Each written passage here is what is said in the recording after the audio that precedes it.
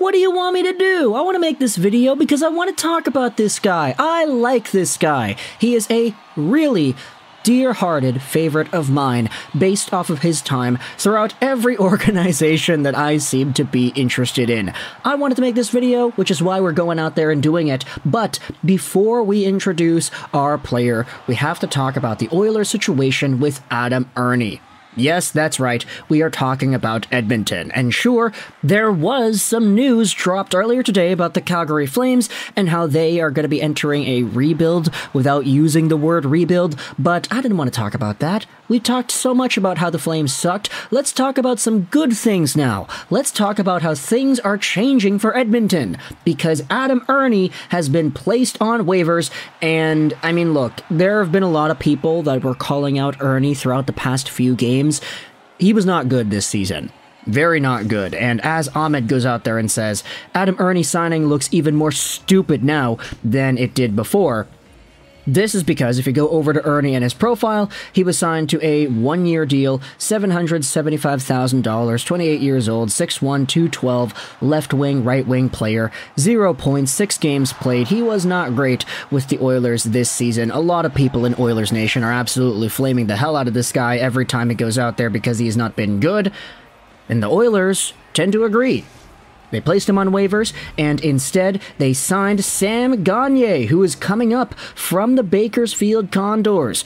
However, he will need to be signed in order to play with Edmonton, which is what ended up happening. Sam Gagner was signed by the Oilers to a one-year, $800,000 contract, and he's a veteran fourth-line forward. His wins above replacement number is 21%. He doesn't really have any good metrics anywhere, but as a bottom six depth option with leadership qualities, this is a guy that I think changes the picture for the Edmonton Oilers. Gagner, if you needed the history lesson here, because he does go way back, is 34 years old, initially drafted by the Oil, 6th overall in 07. So, over a decade ago, he had played with the Oilers, where he was a consistent 40 point guy. He played with the Coyotes, he played with the Flyers, the Blue Jackets, the Canucks, the Oilers again, Detroit, Winnipeg, and now he's in the Oilers system for the third separate time in his career.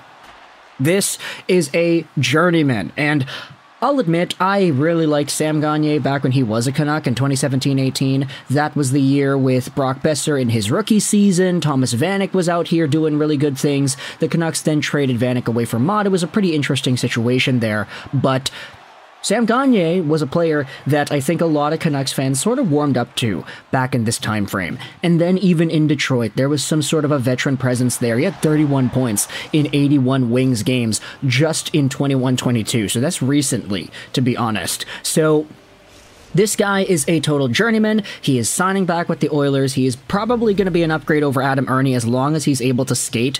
Sam Gagner was never really the fastest guy out there in his career, and especially now at 34 years old, you kind of just hope that his mobility is going to allow him to play at the NHL level consistently. And if he's going out there in a bottom six role, just doing what it is that the Oilers need him to do, just giving assignments, doing assignments, doing the right plays, and giving his leadership as well, because he is pretty old, that is a pretty valuable thing. So, Oilers fans, let me know your thoughts in the comment section below about Sam Gagner coming back to your team. Am I hyperbolizing when I say this changes everything for your squad? Maybe, but I really like this guy, which is why I wanted to make this video. Let me know your thoughts in the comment section below. I hope you enjoyed this. 9 and bye.